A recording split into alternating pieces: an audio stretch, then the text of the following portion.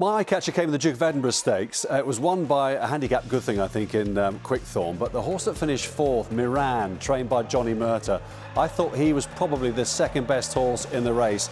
Turning into the straight, he had a lot to do. He didn't really get the run of the of the race coming in there. He didn't begin his run till way too late, but he finished really strongly.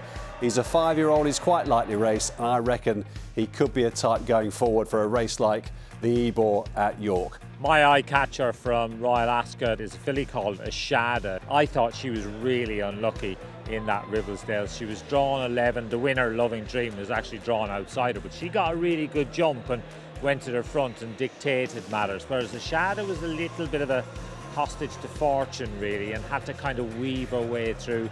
Came very wide in the straight and was doing all her best work at the finish.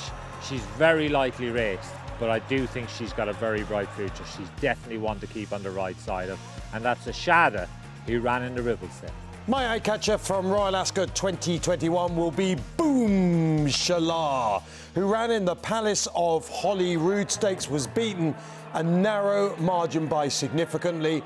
Um, you only have to look at the in-running comment to know what went wrong, but effectively got slightly hampered two furlongs out, denied a clear run, finished off like an express train, and should have won. He is a big horse to follow. Boom! Shala.